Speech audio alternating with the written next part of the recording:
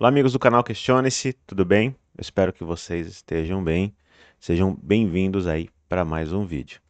Nesse vídeo eu quero falar com vocês sobre essa questão, de novo, né? Vamos seguindo no tema da Rússia, Estados Unidos, França, né? Emmanuel Macron agora mudou completamente o discurso dele.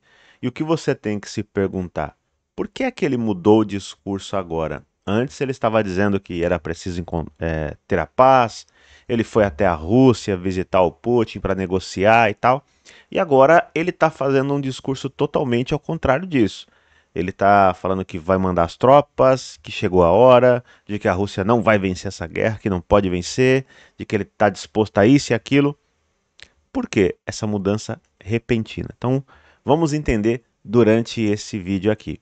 Bom, então vamos aqui para a tela que eu quero mostrar para vocês aqui tudo o que eu separei, declarações de Macron e muito mais. Dê o like, se inscreve no canal, ative as notificações para você não perder os próximos vídeos. Eu tenho um recado aqui rapidinho, de 40 segundos.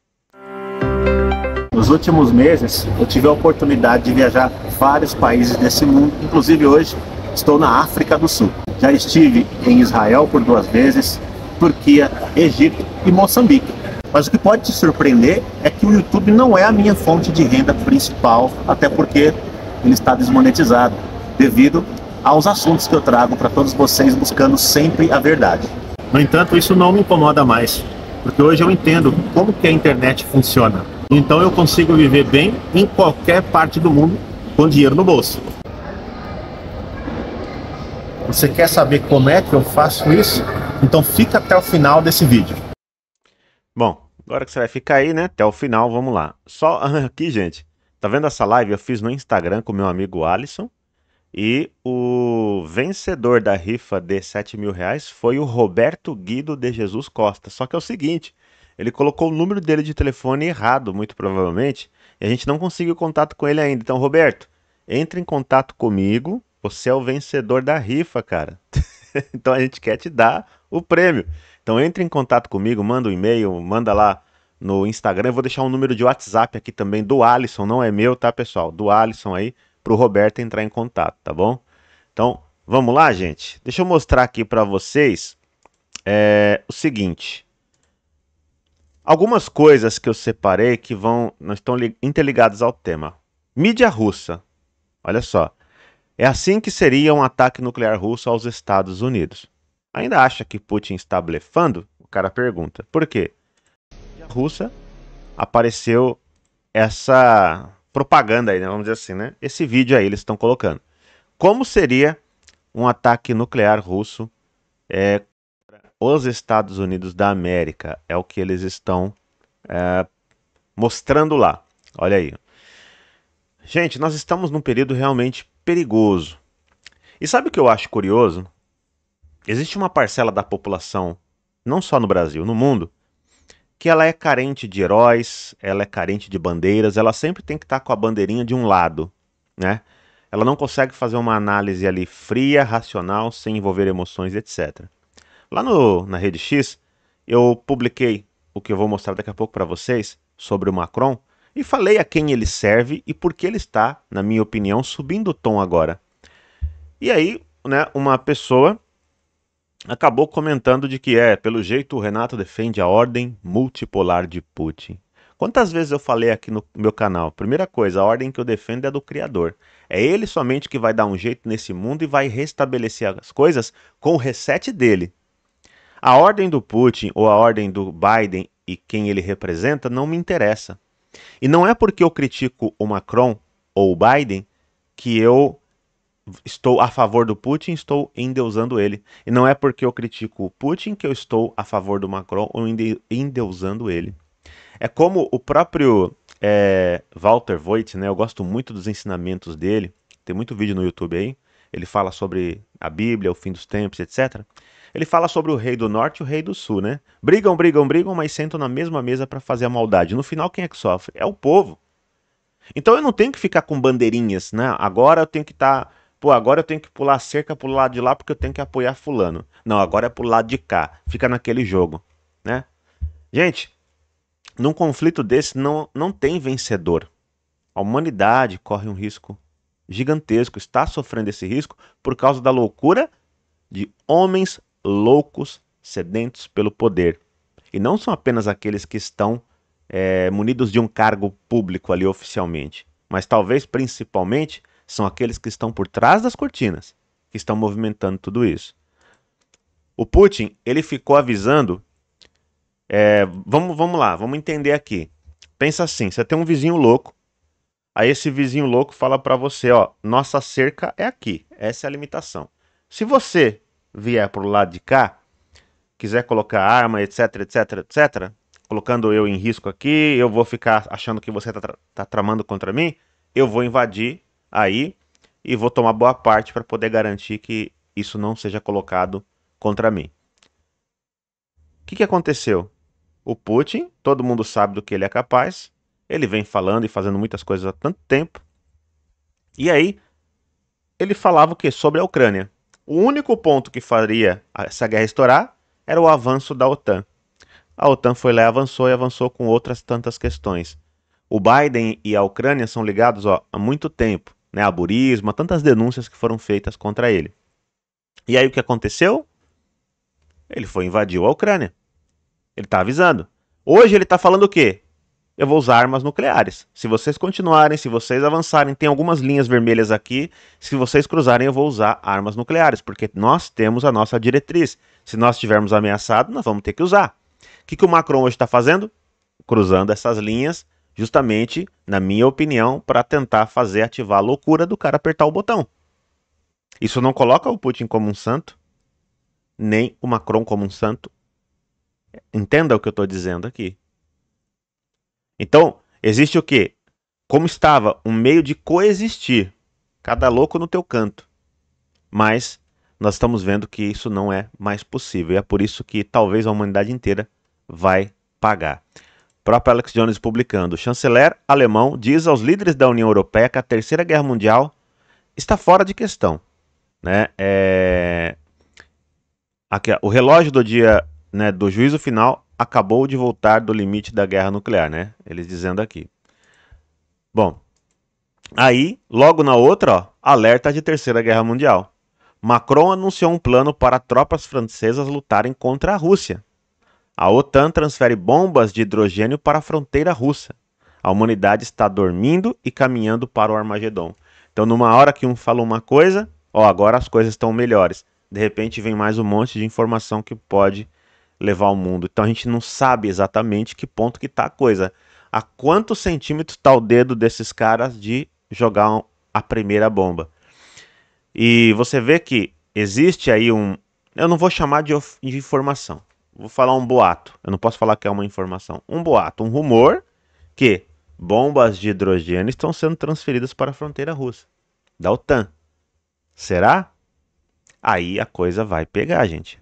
Não pensem que isso é brincadeira. Hoje no mundo militar, o presidente francês Macron, após a sua contundente entrevista de ontem, dedicou várias horas a responder pessoalmente muitas perguntas deixadas por cidadãos franceses. Nesse caso, a pergunta foi: a Europa deve temer a ameaça de Putin? E a resposta de Macron: deixar a Rússia vencer na Ucrânia é certamente deixá-la ameaçar a segurança dos europeus.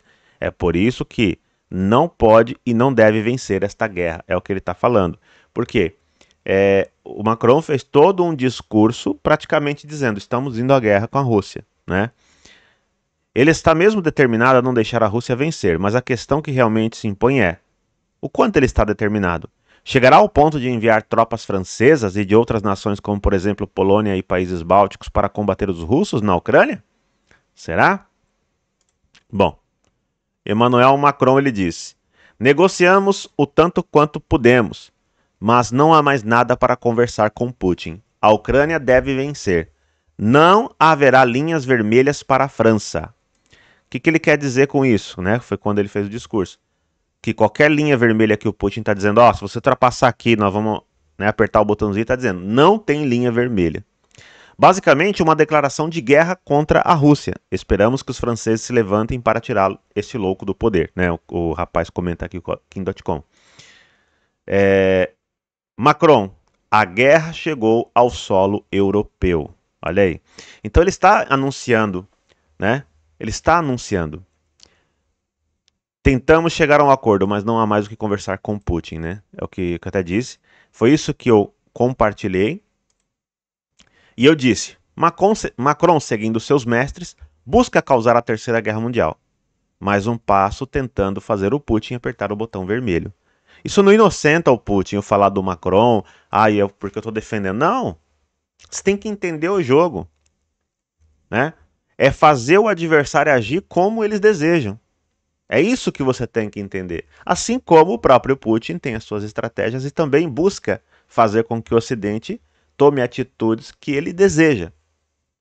É o vamos chamá-los então do rei do norte, o rei do, os reis, né, do norte e do sul. Brigam, brigam, brigam, sentam na mesma mesa para fazer a maldade. Quem é a vítima? O povo. Hoje o povo ucraniano, amanhã pode ser o povo global, tá? Nós estamos avisando, nós temos que ser contra a guerra, contra essa guerra na Ucrânia e contra se estender a outras guerras ainda maiores, gente. O mundo corre um sério risco nós estamos avisando. Bom, próprio Daily Mail fez matérias aqui que eu quero trazer para vocês e dizendo: o presidente francês Emmanuel Macron diz a Putin: somos uma potência nuclear e estamos prontos. Olha, então perceba a mudança de discurso de, de, de, de do próprio Macron. Como ele mudou o discurso? Que, que você tem que perguntar? Por que, que ele mudou o discurso agora e está indo para cima? Declarando praticamente guerra contra a Rússia. Na última retórica de Terceira Guerra Mundial, o presidente francês Macron declarou que sua nação está pronta para usar armas nucleares, numa resposta atipicamente ousada a Vladimir Putin após o último ataque é, de nucleares, né, de, de falas que Putin fez, que o Putin ameaçou também, né? O Putin vive ameaçando. Macron repreendeu Putin por ameaçar o uso de dispositivos nucleares e lembrou-lhe que a França também tem um programa de armas avançadas em entrevistas, né? Ele falou isso. Isso ocorre depois que o presidente russo, no início da semana, disse à TV estatal que existem armas para usá-las, né, em referência à possibilidade de usar armas nucleares. Devemos, antes de mais nada, sentir-nos protegidos porque somos uma potência nuclear. Nós estamos prontos, temos uma doutrina para o uso de armas nucleares, disse Macron aos, rep aos repórteres. Né?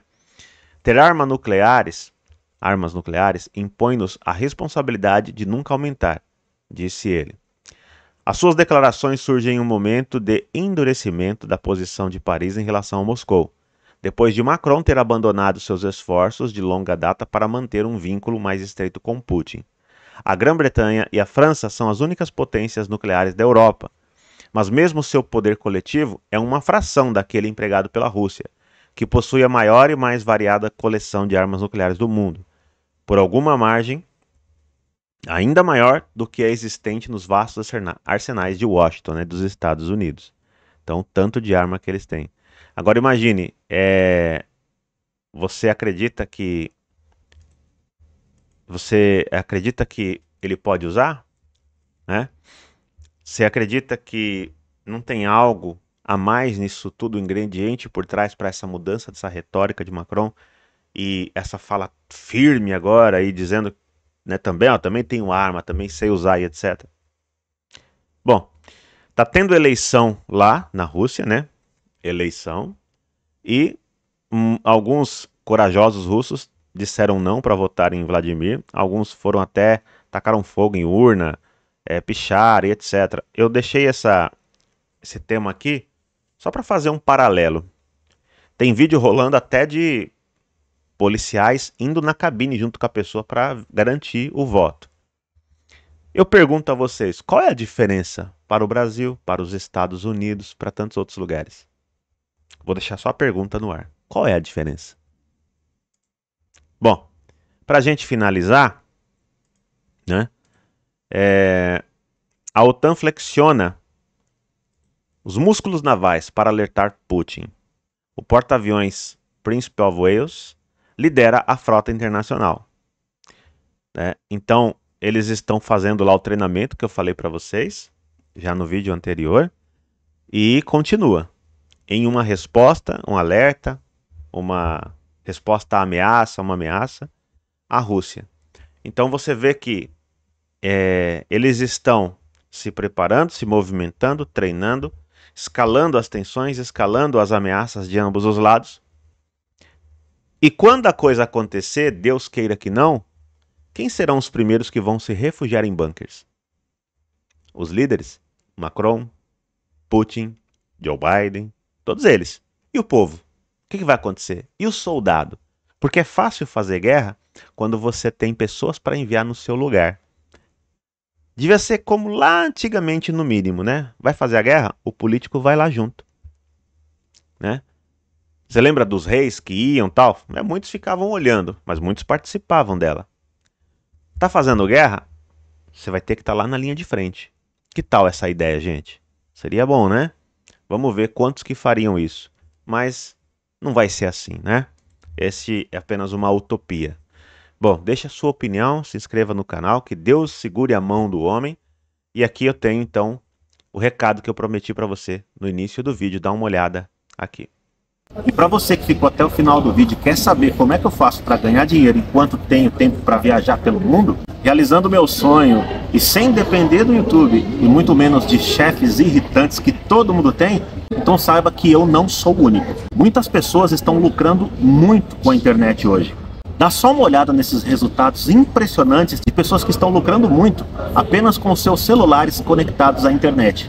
Há algum tempo atrás eu nem imaginava que isso era possível, mas hoje eu sou grato. Agora é só dedicar duas horas por dia para ver o dinheiro entrando na minha conta todos os dias. E não tem nada a ver com apostas, com jogos ilícitos. É algo totalmente honesto. Assim como eu, uma pessoa comum, e também milhares de brasileiros também comuns, você também pode conquistar isso.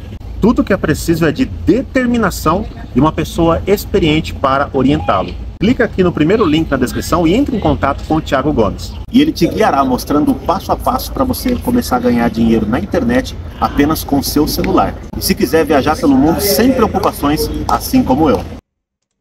Recado dado, primeiro link na descrição. Que Deus abençoe, um grande abraço e até o próximo vídeo.